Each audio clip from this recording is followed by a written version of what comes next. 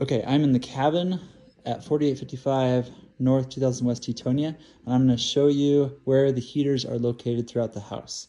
The most powerful heater in the house is this propane heater, and you turn it on by pushing that, and you adjust the temperature with those dials.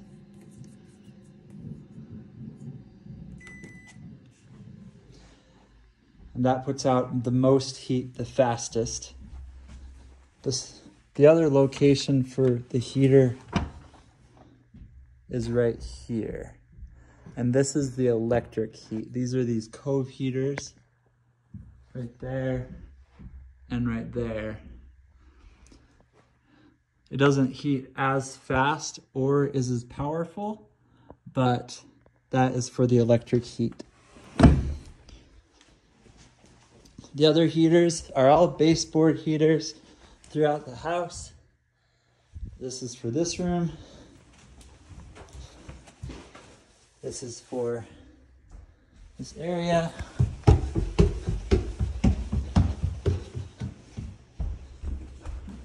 This is Gina. and in case you're wondering, it's off. I turn it on by doing that.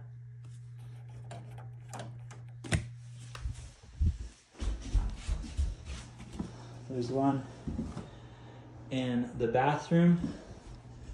And there is finally one in this bedroom. And in the winter, we have a space heater and we put it right here. It's just a plug-in space heater.